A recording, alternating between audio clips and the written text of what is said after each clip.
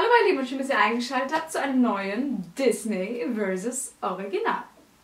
Heute behandle ich die liebe Prinzessin Aurora oder auch Dornröschen. Wie wir ja alle wissen, wächst unsere liebe, gute Aurora bei den drei guten Feen im Wald auf. Im Original darf sie zum Glück bei ihren Eltern im Schloss groß werden. Daher weiß sie auch, logischerweise, dass sie eine Prinzessin ist. In unserer Disney-Version jedoch äh, geht Aurora davon aus, dass sie ein stinknormales Bauernmädchen ist. Nun ist es ja so, dass sich das Mädchen noch vor ihrem 16. Geburtstag an der Spindel eines Spinnrades stechen soll und dann sterben soll. Ähm, zum Glück gibt es ja die guten Feen, die diesen Zauber nicht äh, rückgängig machen können, aber ihn zumindest lindern. Und wie wir ja wissen, ist es ja eigentlich in fast jedem Disney-Märchen so, die wahre Liebe, sobald sie da ist und äh, der Kuss der wahren Liebe stattgefunden hat, kann das Mädchen wieder zum Leben erweckt werden.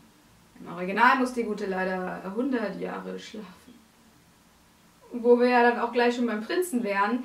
Wie gesagt, in der Disney-Version wird sie wach geküsst. Nach einer Stunde, man weiß es nicht genau, circa eine Stunde. Vom Prinz Philipp, den sie ja auch kennt. Das ist ihr geliebter Prinz Philipp.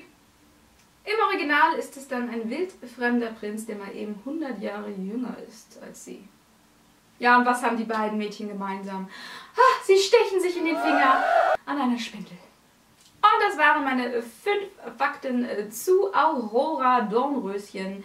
Ich hoffe, es hat euch gefallen. Ihr ähm, dürft mich natürlich gern bewerten, indem ihr mir einen Daumen nach oben oder auch nach unten gebt.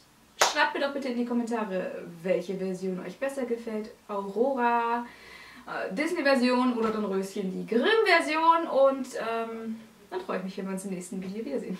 Bis dahin. Tschüss.